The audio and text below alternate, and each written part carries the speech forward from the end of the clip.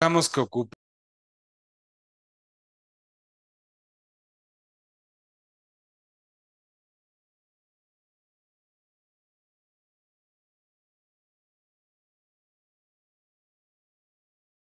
para la seguridad de América del Norte en el escenario de post-pandemia eh, que se hace en, los en el marco de los trabajos del proyecto PAPIT, los regionalismos frente a la complejidad de las amenazas a la seguridad y la defensa contemporáneas, cuyo responsable es el doctor Alejandro Chanona, corresponsable la maestra Consuelo Dávila y coordinadora académica la doctora Yadira Galvez. Pues eh, sin mayor preámbulo, yo pienso que ya eh, iniciemos esta eh, conferencia magistral. Estamos otra vez de manteles eh, largos eh, con la participación en este momento del doctor Boris Saavedra, quien nos hablará sobre los desafíos para Latinoamérica en ciberseguridad. me voy a permitir comentar, contarles quién es Boris Saavedra para que estemos contextuadas y contextuados y, como conozcamos un poco más de nuestro participante, de nuestro conferencista magistral.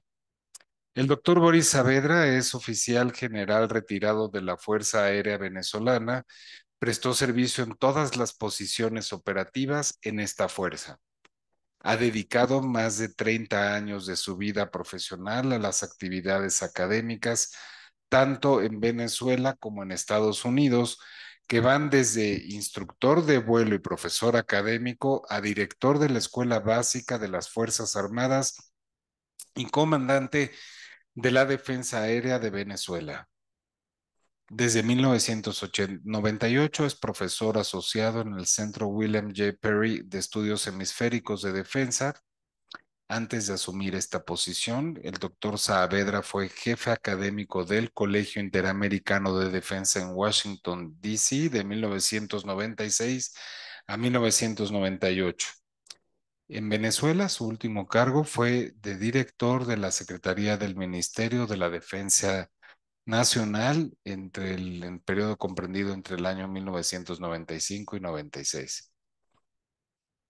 El doctor Saavedra se graduó en la Academia de la Fuerza Aérea de Venezuela, de la que recibió una licenciatura en Ciencias y Artes Militares con especialización en aeronáutica.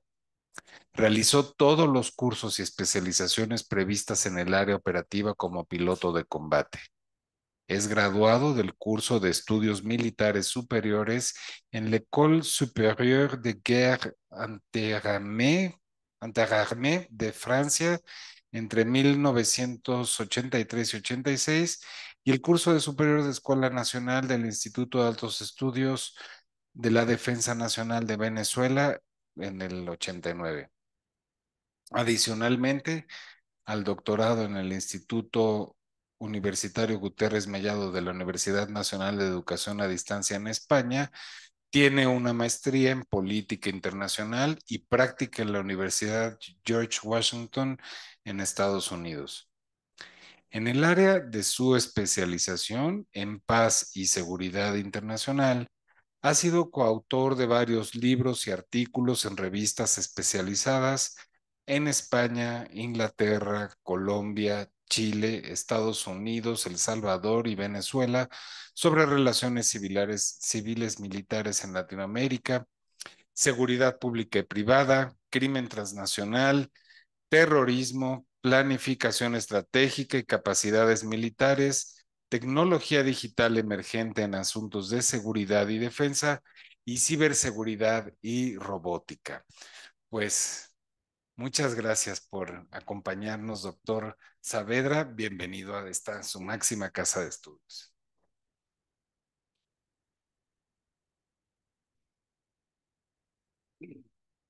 Muchas gracias, Marco. Y ahora sí, ¿no? Ok. Muchas gracias, Marco, por la presentación. Y nuevamente muy contento de estar acá en México en la UNAM y viendo tantas caras amigas, ¿no? Esto lo alegra a uno, sobre todo en la labor de, que uno tiene, que es intercambiar ideas y análisis de, de todo lo que está aconteciendo. Yo quisiera decirles también que lo que voy a hacer, voy a hacer como el doctor Oliva, voy a, utilizo mucho el teléfono porque me ayuda para todo lo que tengo que hacer. Voy a colocar para que lo hagamos en unos 30 minutos. De manera que de esa forma yo tengo el tiempo y no quede más tiempo para preguntas y respuestas.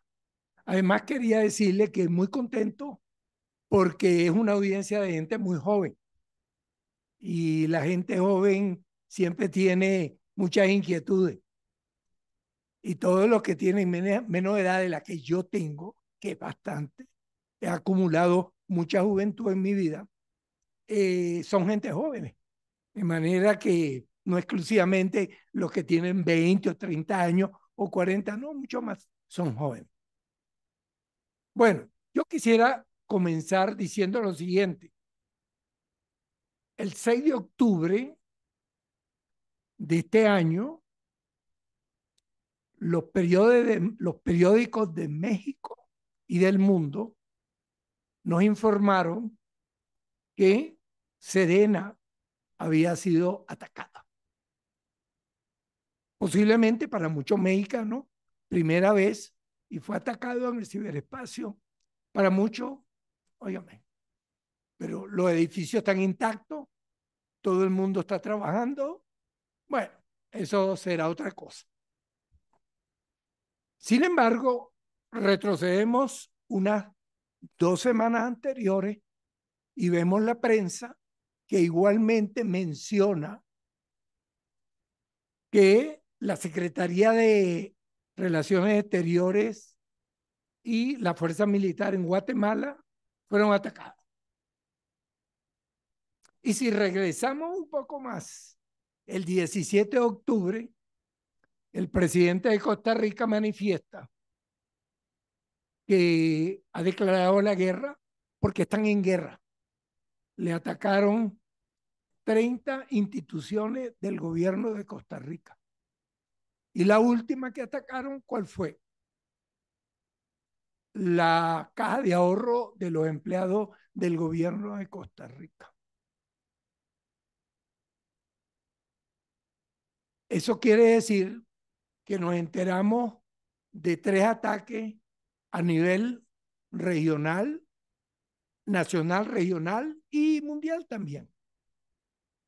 Sin embargo, a partir del 2018, el promedio de ataque mensual superó los 800 millones de ataques. Entonces, que algunas personas no se hayan enterado no quiere decir que en este momento que estamos hablando se están llevando a cabo ataques a cada momento, de parte y parte. Eso no es ni este, ni oeste, ni comunistas contra conservadores, no. Porque lo que pasa en el ciberespacio ataca al individuo, a la familia, a la comunidad, a la sociedad y al Estado. Nadie se escapa de esto. Hace unos 18 meses atrás, mucha gente decía, yo tengo problema con las redes sociales, no las uso. Bueno, el que piensa todavía así tiene un gran problema. No entiende lo que es la ciberseguridad y menos la tecnología. Entonces tiene dos problemas. Y de eso es que vamos a hablar. Y yo, hay mucha información en las láminas, pero yo voy a hacer comentarios cortos porque yo creo que con preguntas y respuestas vamos a aprovechar mejor el tiempo. Además de eso, voy a enfocarme en el análisis político estratégico. ¿Por qué? Porque ahí es donde se toman las decisiones. Yo puedo tener los mejores ingenieros de sistema y tecnólogos y técnicos en computación, pero todas esas personas van a ser lo que una persona o un grupo de personas a nivel político y estratégico diseña una política, perdón, sí, diseña una política e implementa una estrategia. Y ahí es donde se toman las decisiones. Entonces, yo creo que ahí eso no nos va a ayudar a ubicarnos. Vamos a pasar esto rápido, todo lo que yo le voy a decir. Me apego a la política de la Universidad Nacional de Defensa, que yo soy responsable de todo lo que le digo a ustedes aquí. ¿Ok? Bueno, este es el objetivo de lo que yo voy a hablar. Sin embargo, ya tengo 10 años en esto de ciberseguridad. Yo empecé en el año 12. Estaba terminando mi doctorado y ahí me, me enganché, por decirlo así, a la ciberseguridad por tecnología. Y algo que toda mi vida, pues, he estado muy cerca de la tecnología. Entonces, aunque ustedes ven este, este uh, objetivo, yo voy a enfocarme un poco más en generar capacidades para poder utilizar el ciberespacio. Para el bien, no para el mal. ¿Ok? Entonces eso es por qué. Porque en 10 años me he dado cuenta, usted va a un sitio de tantos ataques y aquí están las estadísticas y atacaron a este, hicieron esto, le pueden robar la identidad, le pueden hacer algo, ¿sí? Y se queda ahí. Y usted sale más confundido y asustado que antes de entrar a la conferencia. Yo lo que voy a tratar de decirle a usted, ¿qué es lo que tenemos que hacer? Y por eso es que me voy a enfocar un poquito más en cómo vamos a construir capacidades para que nosotros como persona o como jefe de familia, cuando tenemos gente, hijos jóvenes, lo que habló la, la profesora Celina, puedan prepararse porque la ciberseguridad no es que el gobierno me la va a dar y me da la... No. Ahí estamos involucrados todos y para tener ciberseguridad eficiente y eficaz, todos tenemos que participar. Es un problema de todos. Muy bien. Esta es la agenda. Yo le voy a decir rápidamente cuál es el contexto que yo veo tecnológico en el mundo desde el punto de vista político estratégico. Unas conceptualizaciones de estrategia en el ciberespacio, el panorama en nuestra región y las capacidades y las tendencias. Al paso que vamos, como podrían decir, paso de vencedores, la tecnología avanza muy rápido. Y lo que yo le estoy diciendo hoy, a lo mejor vengo el año que viene y habrá mucho que tengo que cambiar. Porque las cosas ocurren muy rápido y vamos a llegar a unas conclusiones. Muy bien. Entonces, el contexto tecnológico, en pocas palabras, estamos viviendo la cuarta revolución industrial. ¿Qué es eso? ¿Cómo se come eso? Cuarta revolución industrial, no. Rápidamente, tecnologías exponenciales aceleradas que convergen y se hacen más aceleradas aún. Eso es. Ahora, un ejemplo de eso. En el año 19, cuando al final del año 19, que empezó la pandemia, hasta hoy, la tecnología ha evolucionado 100 veces más de lo que se esperaba que evolucionara en 10 años. Bastante. Y ustedes lo vivieron, porque nosotros estamos viviendo hoy cambios disruptivos que nos ha cambiado la forma de actuar. Nosotros, incluyendo a los jóvenes, llaman esto como teléfono, celular, móvil, pero lo menos que usted hace por ahí es hablar. Pero se comunica. Porque le cambió la vida. Porque usted se comunica más en texto que hablando. ¿Verdad que yo hablo muy poco por teléfono? Como todos ustedes. Claro, aquí hay gente muy joven que como mi hija me preguntó cuando ella tenía como 18 años y estaba en la universidad, papi, ¿y cómo vivían ustedes sin, sin computadora? ¿Sabes qué le contesté? Felices y contentos. No, ningún tipo de problema. Pero llegó la tecnología digital y todos tenemos que, y sobre todo los que hemos acumulado más juventud, como mi caso, hemos tenido que hacer más esfuerzo para entender lo que está pasando. Pero la gente joven no, porque ustedes tienen una mentalidad digitalizada. Y cuando le empiezan a hablar de algunas cosas, se fastidian. Ay, mire que no puedo con esto. Yo le digo a la hija mía, mira la computadora, necesito, estoy haciendo esto. Bueno, oye, papá, pero eso es muy fácil. Porque ella tiene una mente digitalizada. Y yo soy análogo. Y la transición me ha costado mucho. No crea que es fácil. Es difícil, pero ahí vamos. Entonces, todas estas cosas que le estoy diciendo es lo que estamos viviendo hoy en día una tecnología avanzada exponencial que nos hace cambios disruptivos y nos ha cambiado el comportamiento de cómo pensamos.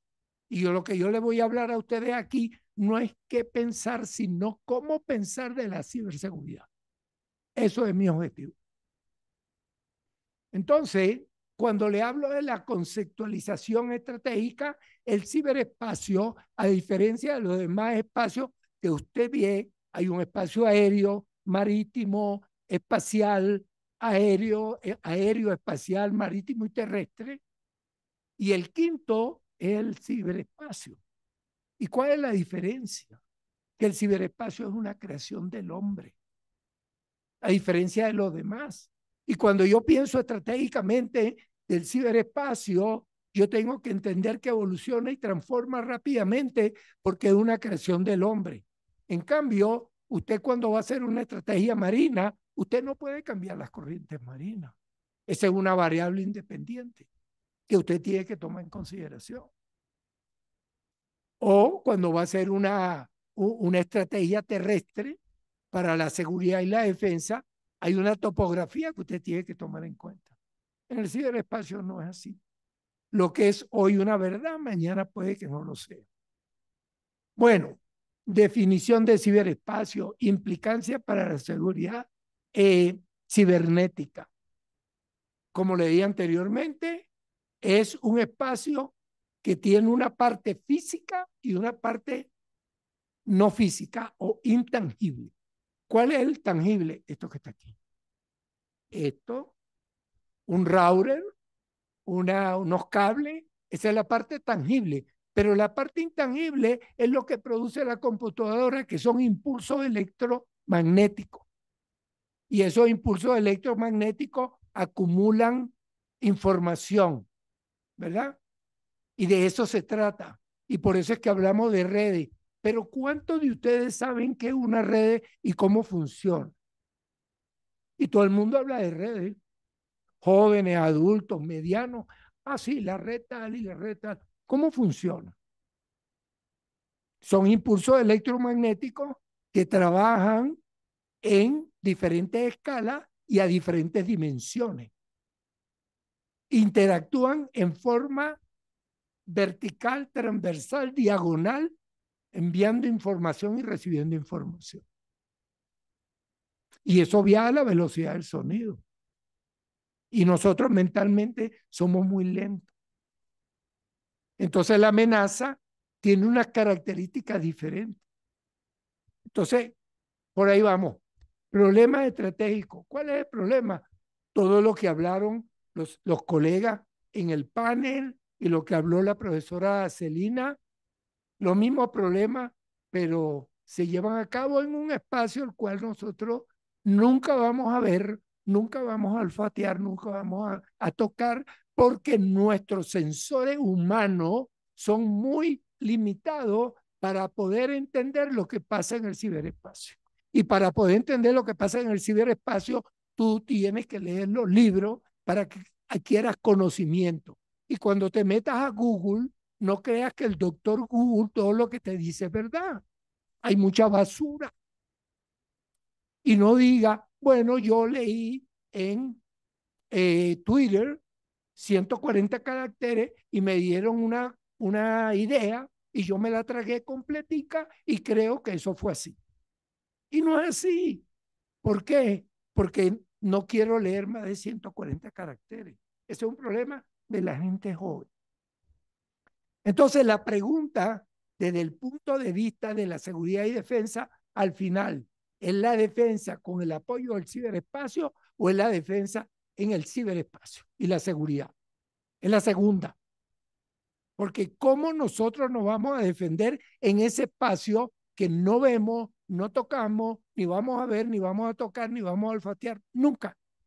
La única manera será que adquiremos conocimiento para que podamos filtrar y utilizar la información y adquiramos una cosa que se llama sentido común cibernético. Sentido común cibernético es que cada vez que yo hago clic, yo sepa por qué estoy haciendo clic en la computadora o en el teléfono y que no me van a robar la información ni la identidad. Y para que eso no me ocurra, yo tengo que tener conocimiento para poder tener sentido común. Ahora, ¿qué es una estrategia cibernética? En pocas palabras, una forma de guerra política optimizada del siglo XXI. Porque cuando tú haces la guerra en el ciberespacio, lo haces con estrategia. Y lo haces con instrumentos diferentes. Uno de las del equivalente a un ametrallador, un cañón, una pistola, es esto que está aquí. Esto es un arma. Para yo producir impulso electromagnético y atacar a otro. Entonces eso hay que tenerlo en mente para poder entender ese ciberespacio y cuando hablemos de seguridad del ciberespacio, la defensa, entendamos de lo que estamos hablando. Y ahora cualquier estrategia que usted vea de cualquier país del mundo hoy día tiene tres elementos. Interrupción, espionaje y degradación. Usted hace una estrategia para interrumpir una base de datos de información de un potencial enemigo o de otra persona o para defenderse de ello. O hace espionaje como empleado de un gobierno o para defenderse de que le hagan espionaje de su vida particular o le hagan degradación de la información que usted tiene. Bueno, eso le da a ustedes una idea. Ahora, este cuadro lo que trato es que ustedes visualicen y tengan una idea visual en su mente cuando hablamos de política y estrategia en el ciberespacio.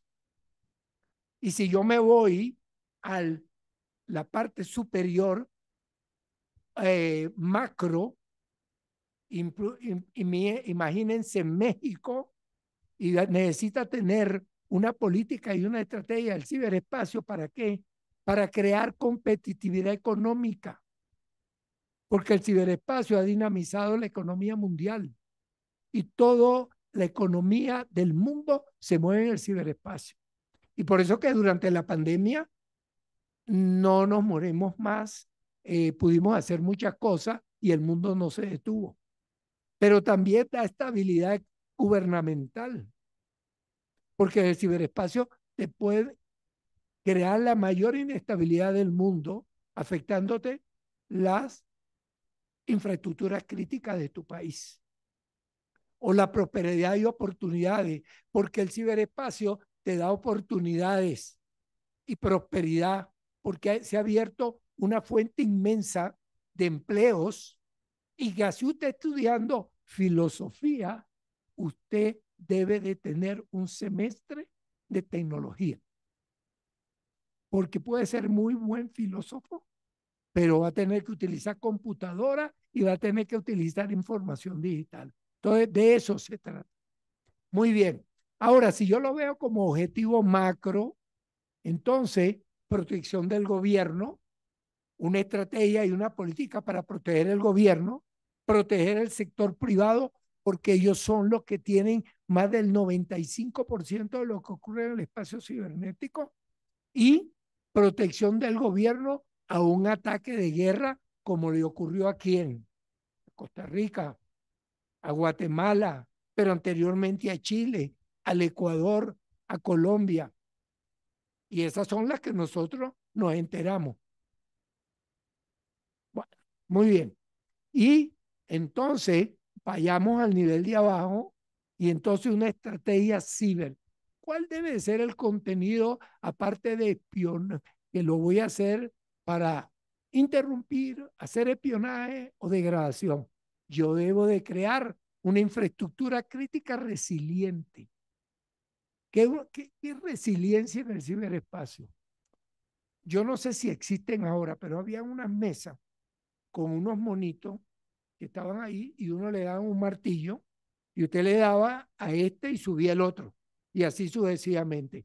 Bueno, una, una resiliencia en el ciberespacio quiere decir que a usted lo atacan como persona y le roban información de su cuenta bancaria y usted tiene capacidad de continuar operando sus cuentas. ¿Por qué? Porque el banco tiene unos sistemas de seguridad para que usted pueda seguir operando como cliente de ese banco.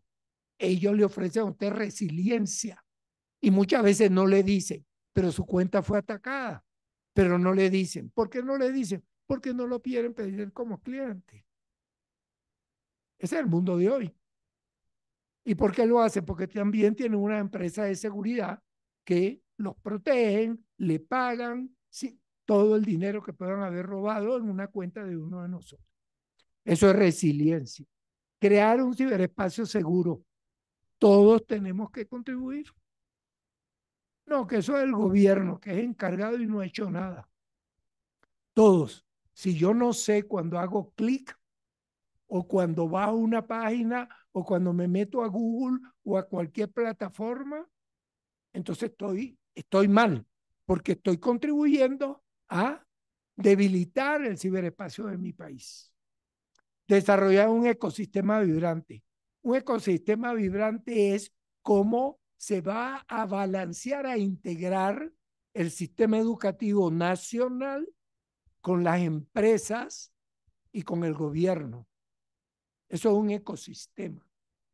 Entonces, para que el sistema educativo forme ciudadanos capaces de poder interactuar en el ciberespacio con sentido común y conocimiento, el sistema educativo nacional, desde la escuela primaria hasta las universidades, tienen que darle conocimiento a los ciudadanos para que sean unos ciudadanos conscientes, con sentido común en ese ciberespacio.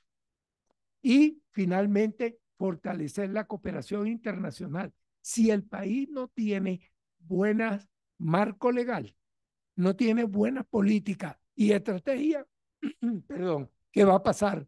No puede interactuar en el ciberespacio internacionalmente.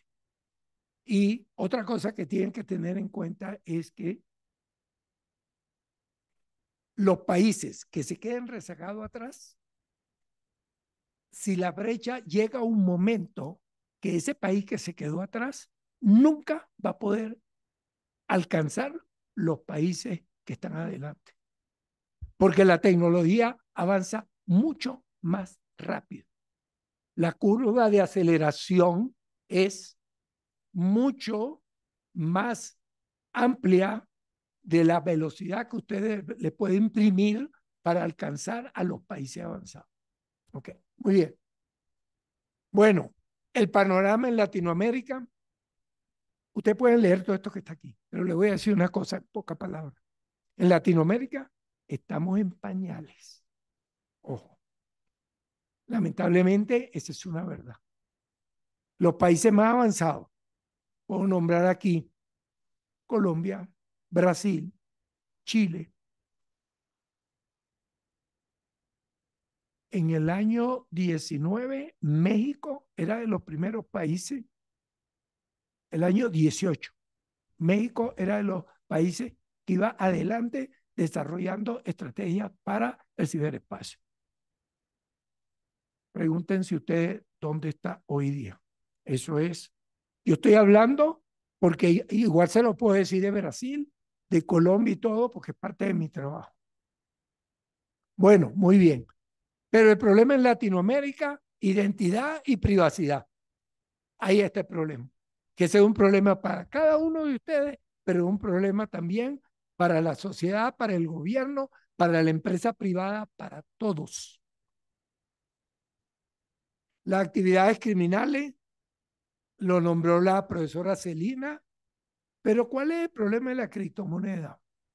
Es una cosa que se llama minería de criptomoneda, el malware de criptomonedas y vasos o mezcladores de criptomonedas.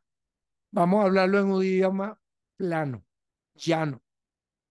Hay computadoras que usted la compra en China, sobre todo, le cuesta como unos 6, 7 mil dólares y usted puede hacer todo eso que yo estoy diciendo. Y entonces usted va a tener una buena capacidad de meterse en la deep web, en el internet profundo y mezclar dinero mal habido con dinero bien, bien habido. Lavar dinero. Y le digo, es difícil conseguirlo. Entonces, ahí ya usted va, va viendo. Entonces, para que ustedes tengan una idea de, pero al final del día es identidad y prosperidad, y perdón, y privacidad. Ese es el gran problema que nos afecta a todos, pero le afecta al gobierno, le afecta a la sociedad, al sector privado. Porque cualquier actividad de la dinámica de la sociedad actual se hace en el ciberespacio. Nosotros tenemos una vida en el ciberespacio. Vamos a fallecer algún día, pero toda nuestra vida en el ciberespacio estará ahí por siempre. Déme darle un dato. Hoy en día, con 5G, hay la capacidad de almacenar información para 104 planetas Tierra. Bastante. ¿Ok? Muy bien. Vamos a la otra. Respuesta regional. No tenemos capacidad de entender y atender a las amenazas persistentes avanzadas, que son, son amenazas que van de impulsos electromagnéticos, que están hechos con algoritmos y se penetran en los sistemas de información de una empresa, de una persona, de un gobierno, se transforman, mutan y se transforman y le sacan información, le ponen información y hacen todo lo que quieren. Cuando dieron que atacaron a Sedena el 6 de octubre, fue que se dieron cuenta. Fue que se dieron cuenta, porque el problema no es si me atacan, es cuándo me atacan. Ese es el problema. Esa es la verdad. Bueno, muy bien. Entonces, todo lo que ustedes puedan leer aquí, pero el comentario, nuevamente, estamos nosotros muy incipientes en Latinoamérica, desde México hasta la Argentina incluyendo el Caribe. El ciberespacio, si usted lo ve como dominio, y ahí digo yo qué es lo que es un dominio, para tenerlo como un dominio y que México diga el dominio cibernético mexicano, tiene que tener la capacidad de hacer superioridad, control, influencia y competencia. Si no, al lado derecho yo pongo la palabra fanfarronear está diciendo una cosa que usted no es capaz de hacer. Pero para poder hacer superioridad y saber lo que pasa ahí y controlar lo que pasa ahí, hay que saber primero entender cómo ese espacio funciona. Y después viene todo lo demás, la tecnología, las personas preparadas, el material, los equipos, el dinero, todo lo que usted quiera, pero primero tenemos que tener conciencia de ese ciberespacio. Entonces siempre digo, como es cuestión de seguridad y defensa, ¿es el poder militar en el ciberespacio o el poder militar en el ciberespacio? En Latinoamérica todavía las fuerzas militares no están claras cuál va a ser su rol. Todavía. Porque lamentablemente se ha tenido la forma de querer utilizar la fuerza militar igual como lo utilizo en el espacio físico, en el ciberespacio. No es capaz. ¿Por qué? Porque con los tanques, los aviones, los soldados, usted no hace nada en el ciberespacio. Usted tiene primero que prepararse y ver qué puede o no puede hacer, qué capacidades tiene para ver si puede hacer superioridad, control y todo, usted va a prestar una colaboración. La institución militar no se puede encargar de toda la ciberseguridad, la ciberdefensa. Es imposible. Bueno, y aquí donde me quiero enfocar un poquito más. Capacidades, generación de capacidades. ¿Para qué? Para todas esas cosas que le he dicho, ustedes digan, oh, ok, ¿cómo me voy a preparar? Bueno, tengo que generar una cantidad de procesos, tengo que tener conocimiento, habilidades y un comportamiento diferente para actuar en ese ciberespacio. Y tengo que tener herramientas y sistemas y tengo que tener una organización. Eso es lo que tiene que tener una sociedad, un país, para poder generar capacidades. Si yo tuviera tiempo, pero esto es un semestre de una maestría de ciberseguridad, un semestre en puro lo que es capacidad. Y yo estoy en unos dos minutos tratando de que ustedes tengan una idea. Pero aquí está un poco más claro. Por ejemplo, generación de capacidades. En la parte de arriba, estar, generar capacidades a nivel político estratégico y en la parte de abajo, generar capacidades a nivel tecnológico operativo. Parece que fuera lo mismo porque al lado derecho usted necesita generar capacidades para poder buscar, detectar, defender, fortalecer todo eso.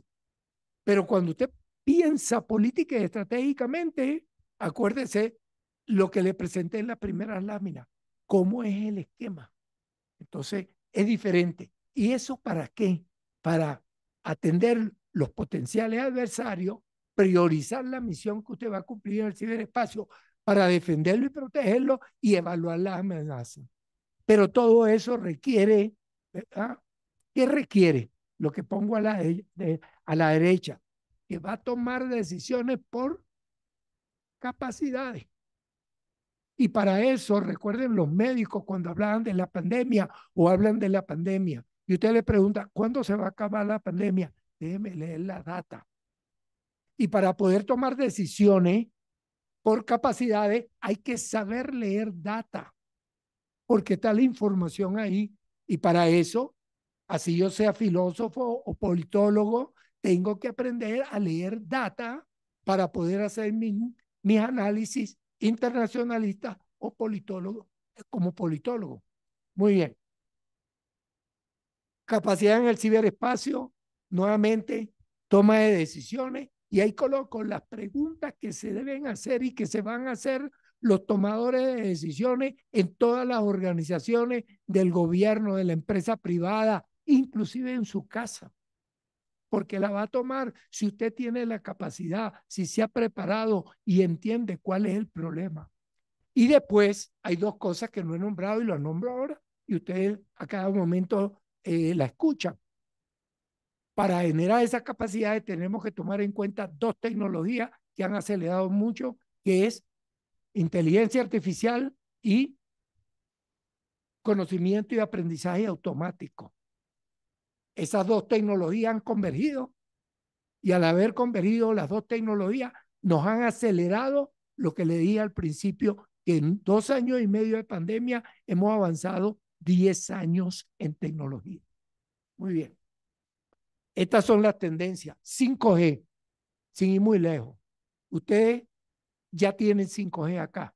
Yo vi ayer y hoy varias antenas 5G.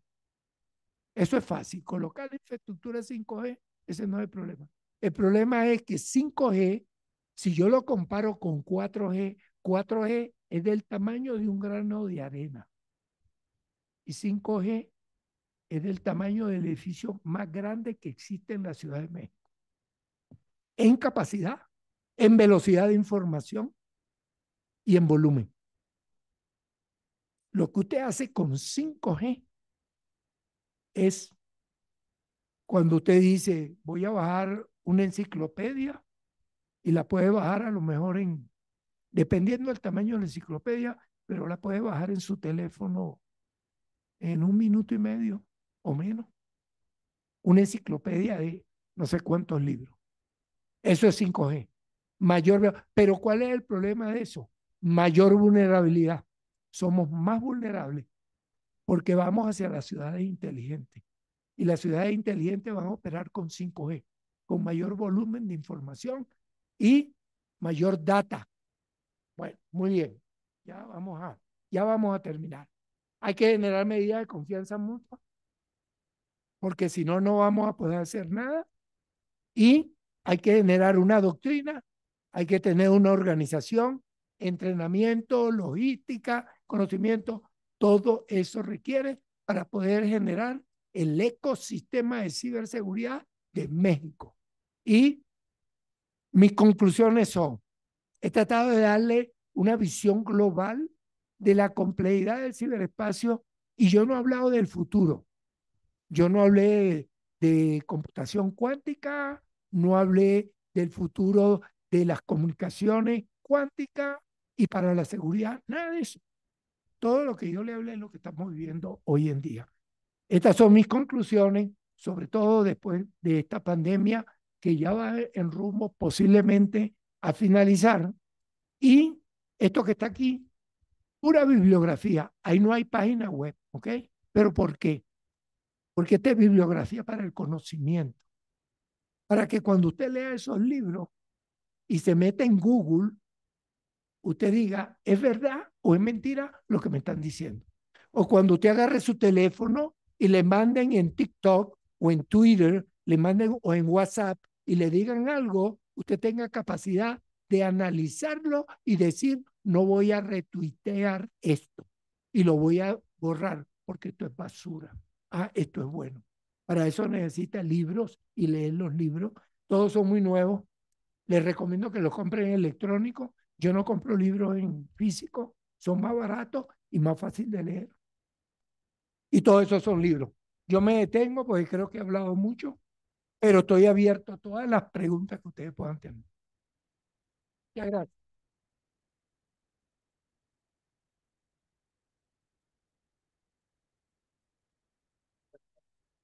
Muchas gracias, doctor Saavedra, por su eh, intervención magistral. Tenemos varias preguntas, estamos sobre el tiempo.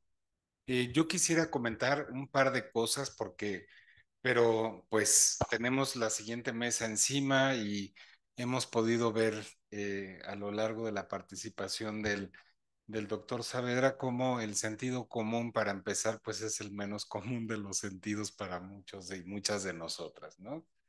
Eh, ¿Qué ha pasado con la estrategia nacional de ciberseguridad que México desplegó en el año de 2017.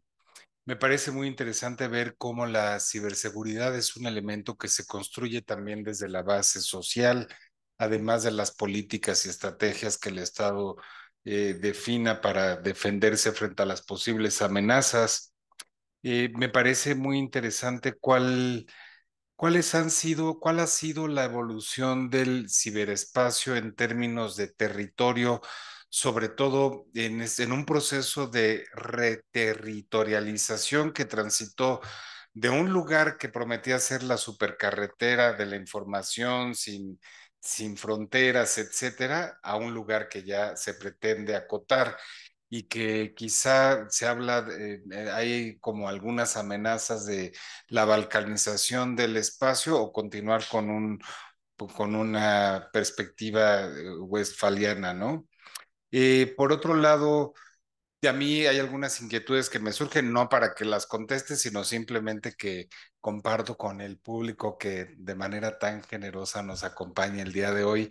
Y es eh, ante los avances en materia comercial entre México y Estados Unidos, yo tendría la inquietud de saber si estamos entre la conformación o el advenimiento de la conformación de un complejo de ciberseguridad regional o no, si la ciberseguridad y las amenazas que se construyen de, desde la perspectiva regional son distintas, de distinto carácter en América Latina, en la Unión Europea, en el sudeste asiático, en China, por el propio carácter regional de los países. Es decir, si transitamos de un plano físico de la política internacional, cómo ésta se proyecta en el ámbito ciberespacial.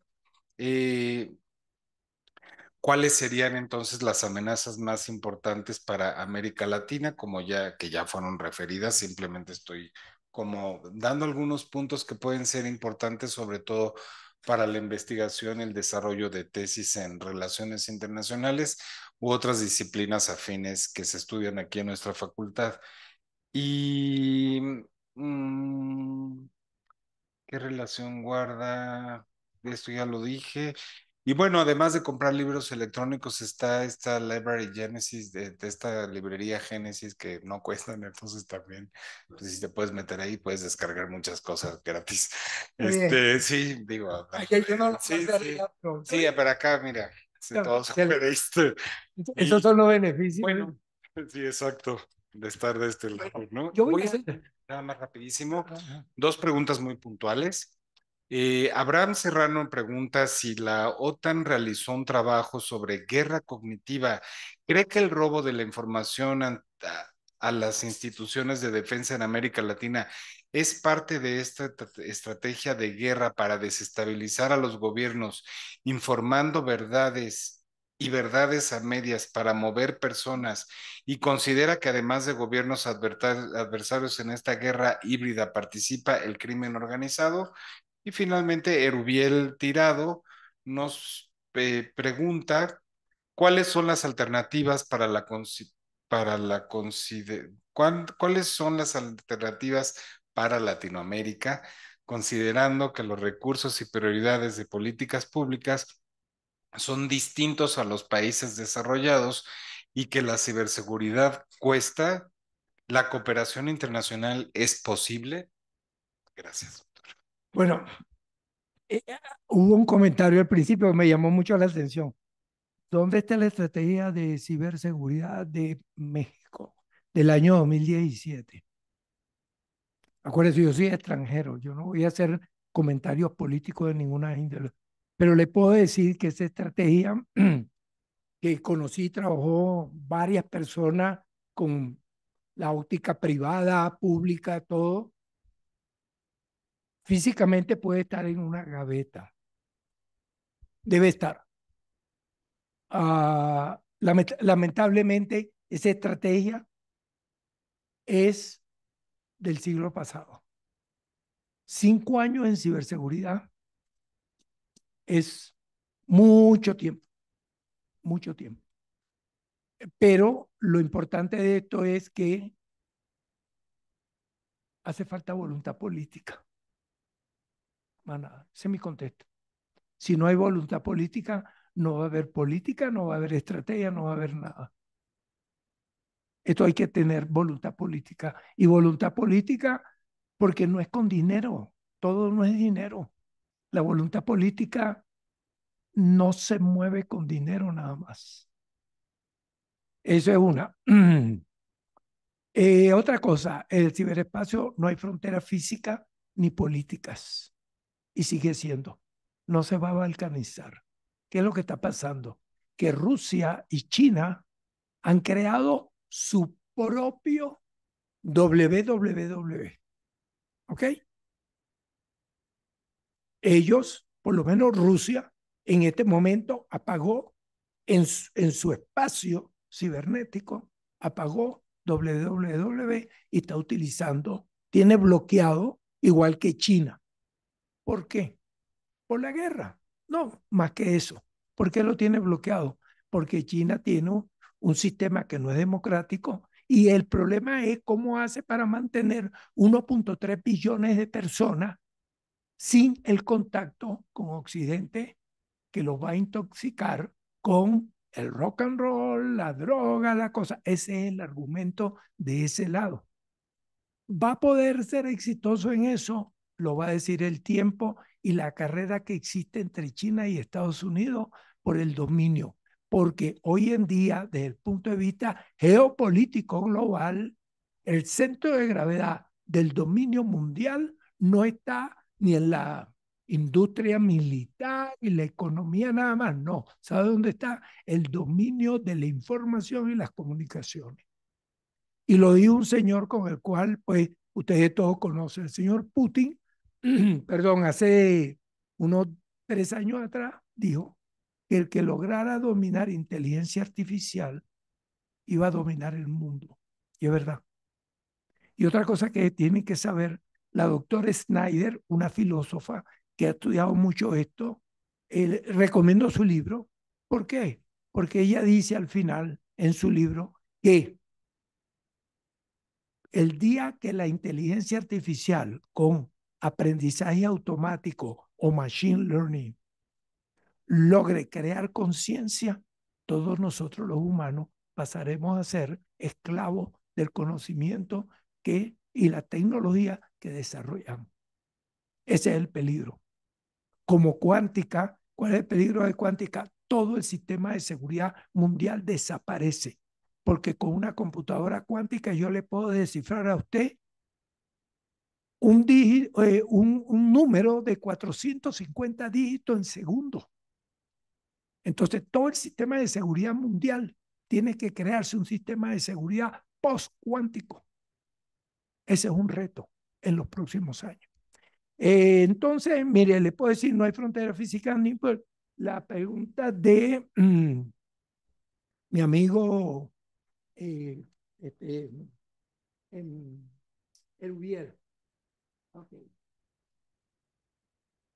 Mira, este, Erubier es voluntad política. Después podemos entrar con un poquito más de detalle, pero el problema con la región, estamos muy atrasados. Es la realidad. Y los países que van más adelantados son los que han sufrido más ataques que conocemos. Imagínate los que están detrás.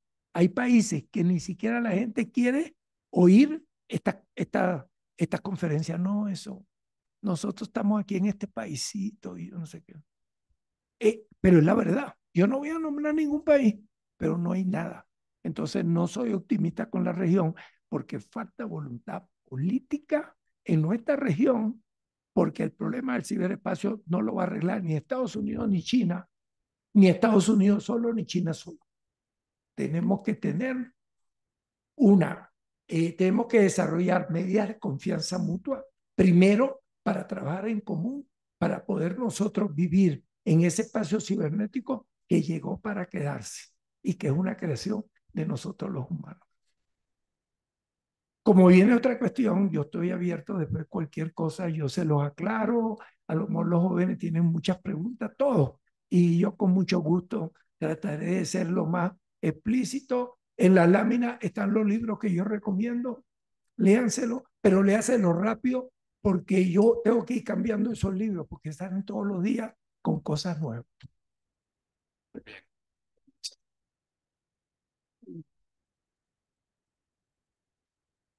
Muchas gracias, doctor Saavedra. Agradecemos su presencia, agradecemos la presencia de la gente que nos ha seguido a través de nuestras redes sociales. Eh, le mandamos un saludo con mucho cariño a la maestra Consuelo Dávila y bueno, pues les invitamos a que continúen, a que permanezcan aquí en lo que vamos a hacer un ajuste en lo que preparamos la siguiente, el siguiente panel que es sobre las perspectivas eh, sobre la cooperación México-Estados Unidos y el entendimiento bicentenario. Nos acompañarán Phil Barrera, este, entre Phil Barrera, Celina Realullo, Raúl Benítez, Yadira Galvez, Jesús Gallegos y modera Patricia Baranda. Tenemos invitadas e invitados de primer orden. Quédense con nosotros y acompáñenos. Muchas gracias.